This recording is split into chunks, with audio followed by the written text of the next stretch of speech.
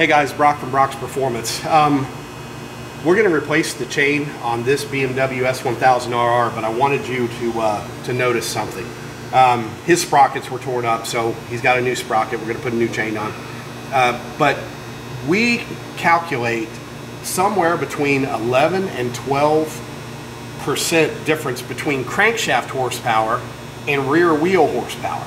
Um, there's a variety of reasons for that but most of it is in your drive chain. So this is the, the OEM chain from BMW. It's a great chain. You can put miles and miles and miles on it. But as you can see, it's it's stiff, and I wish you could feel the tension here. I mean, it's it it has got a very stiff, um, a very very stiff configuration with the O-rings, and that chain's dirty also. And I, I forget, it's got about 6,000 miles on it.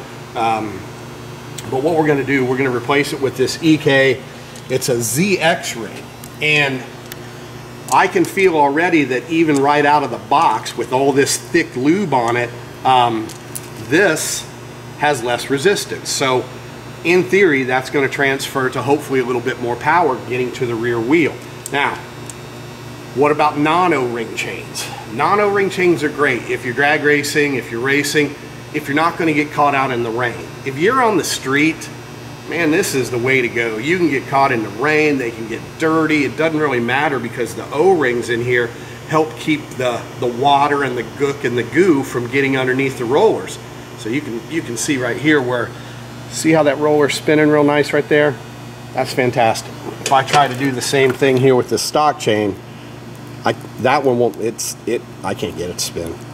So that's one of the reasons this chain needs to be replaced. It's just, you know, we could maybe clean it up, but, and reuse it, but he just bought BST wheels and a new Vortex sprocket. It's, it just doesn't make any sense not to go ahead and put this on. Now, as part of this, I'm gonna show you a little trick that we do that really helps get more horsepower to the rear wheel. But that's gonna have to wait. We're on a time crunch with this bike. We're gonna put him back together. He rides this thing on the street 99% of the time, so we're going to put this uh, X-ring in here and just, uh, I'll get back with you on the suit, on the trick. I think you're going to like it. See how many links we have to cut out? Probably one. Well, I don't think we're going to get it back that far. So what we're going to figure out, for every inch that you lengthen your bike, you pick up approximately a tenth of a second in ET in the quarter mile. So for racing, we want this to be back as far as possible. And a half, a half inch can make a noticeable difference. But sometimes you're at the mercy of the chain. Um, so I'm gonna go ahead and pull it all the way back, see if we can get it adjusted. If not, we're gonna be forced to take, well, two links out um, just to be able to make the chain fit. Now, if you're crazy, like me, um, we know what gear ratio we want for this bike. So I could actually mix and mingle this size front, this teeth, this diameter front sprocket, and increase the diameter here to move that bike back or move this chain all the way back. But that's, that's like 600 Super Sport. We are really trying to get everything out of the bike. So uh, anyway, we're gonna keep going on this and we'll let you know how it works out.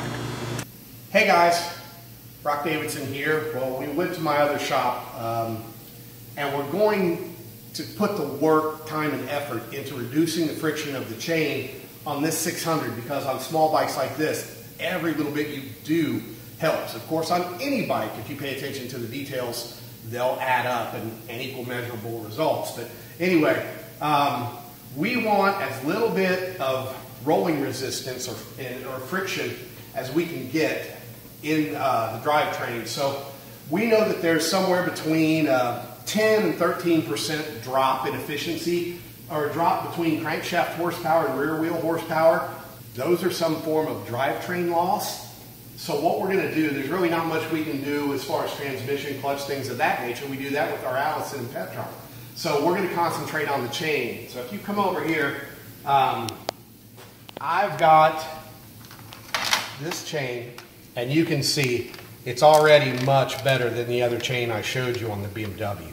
Um, why is it better? Well, this was an O-ring chain, and we removed the O-rings. It's very painstaking. So Brock, why don't you just use a non-O-ring chain? great point. And it's a great alternative, especially if you don't want to do the work. Um, but if you come over here and let me show you, you can focus in here. On a non-O-ring chain, when they press them together, you, you get friction between the, between the plates and rollers. If you've got an O-ring chain, you remove the O-ring, look at that plate we've got. Very little friction here. So um, the only real problem we have is all these chains come with really thick oil. So you're probably saying, hey Brock, why is your chain in a pan looks like you're going to cook it? Well, that's because we are. Uh, what we're going to do, had some leftover uh, Allison ProDrive 21. We poured it in here, and uh, we're going to heat this up, and the whole idea is to get it hot enough to where the heavy grease boils up and out away from the chain and gets replaced with this very thin lube. Um, we'll use a hot plate. Uh, I don't know where my hot plate is right now, so we may, we may try something else. But um, that's what we want to do is just try and remove as much friction from this as we can. Now, one thing you have to be careful of. If you're going to do this, you have to keep your chain lubricated. We lube our chains before almost every run at the drag strip. Um, if you're out on the street, you get caught in the rain, you don't lube your chain and you go for a three hour ride, you're probably going to destroy this chain and they get very expensive. Whereas an O-ring chain, you get caught in the rain, the O-rings seal this thick lube in there, so the chain still stays lubricated. You may get a little surface rust on the outside, but that's why you don't have to lube O-ring chains as much. You really just have to keep them clean. This is to extract as much possible power as we can and to get as low an ET as possible. Um, so I'm going to get to getting rid of this thick grease. I'll try and figure out how we're going to do that, and I'll show you that here in just a minute. Brock, what you cooking? Oh, hey, well, I'm cooking me up some stupid fast. Check this out. Now you can already see, I don't know if you can see the white here, but that's the lithium grease boiling away and being replaced with the lightweight, less than zero weight um, Allison full synthetic oil. So we're just gonna let that this sit here and steep a bit. I wish I had my hot plate, can't find it. So we're here on the grill. Oil, flames, bad. So we're gonna be real careful. We got a fire extinguisher here waiting in case something bad would happen, which it could always be the case. So anyway, we're just going to let this sit there and do this. I'm going to move it out of the way with a wooden soup spoon, the heavier stuff, and then uh, turn off the flames, pull this stuff up out of here, and we're going to have a really nice chain that does a great job of reducing friction to the rear wheel and making the bike go faster as a result. So um, if there's anything to show you, hopefully none of it's catastrophic. We'll be back in a minute. Just want to pull off some of this. It's all just floating there. But the chain itself, if you can see down in there, almost all the white grease is gone. And boy, it is easy to move. Look at that. We're getting there. A little bit more.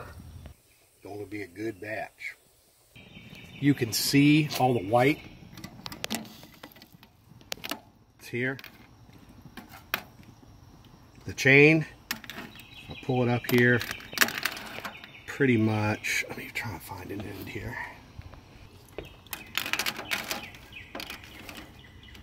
There you go. And then we'll pull it off this grill, being real careful not to spill any oil.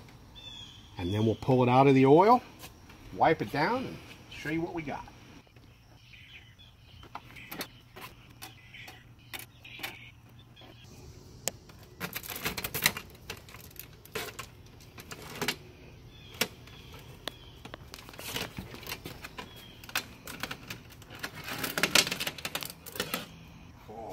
Oh oh yeah. All right. Just let her cool down.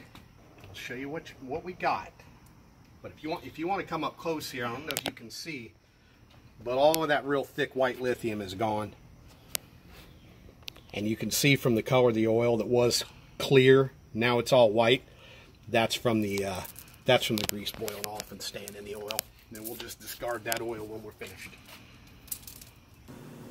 So I know some of you are going, Brock, so much work. Why would you put so much effort into something like this? Well, it's simple. Do this with your bike. Put it up on the rear stand, grab it, spin it. The chain mod is free horsepower. Everybody likes free. Now, um, granted, we also put in, we installed worldwide bearings, ceramic bearings in that wheel before we put it on also. We already had it off, why not? Um, and inevitably get, well, how much horsepower is it worth? Man, it just doesn't matter. If our bike has this amount of friction reduction with the ceramic bearings and the bike next to us doesn't, we have a competitive advantage. Now, as far as numbers go, everybody loves numbers, right? Um, the ceramic bearings, there is no magic number as to what they are worth. I can tell you this, we've never slowed down a motorcycle by putting them in. It just doesn't work that way. They really work. That's why we sell them. We've used them for years. All the fast users, or all the fast guys use them too. As far as the chain, um, on average, we'll see one and a half to two and a half horsepower by doing that mod on a modern chain. Um, but that's going to vary also. What's the condition of your chain? What type is it? Um, without anybody thinking I'm Pinocchio here, I'm going to go ahead and give you a number. Our biggest gain with the chain mod is, drum roll, 7 horsepower. No kidding. It was on a Gen 1 Hayabusa with a built engine. The bike stayed on the dyno. We never even unbolted it, unstrapped it from the dyno. We just turned the wheel, pulled the O-rings out, ran it again.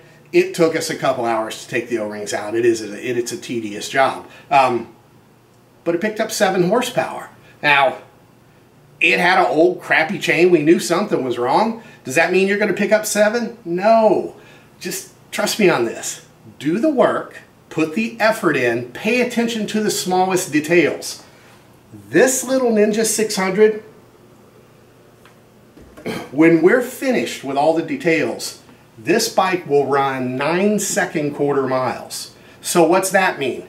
That means roll up on a 600, now that's with a good rider, um, and line up against a guy with a stock Busa, you're kicking his butt on your 600. And you're not going to do that by out horsepowering him. You got to outthink him, do things like this. So I hope you enjoyed this. Um, it took us a while. We got a lot going on, but we finally got it done. Until next time, I'm Brock from Brock's Performance. We'll see you then.